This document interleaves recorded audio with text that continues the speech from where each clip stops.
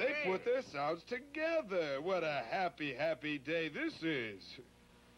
It certainly sounded a lot better to me than that joke Miss A told. Mr. M, you've made me very angry. I've had enough of this. I'm leaving. Oh, he was only oh. teasing you, Miss Oh, A. yes, I will. I've had enough. Goodbye. Okay, well, go ahead if you're going to be that way about it.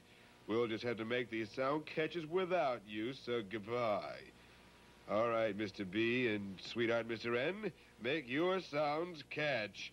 We'll show Miss A we can get along without her. That's all right. Yeah, we'll teach her a lesson. Okay, let's hear that sound catch. Here we go.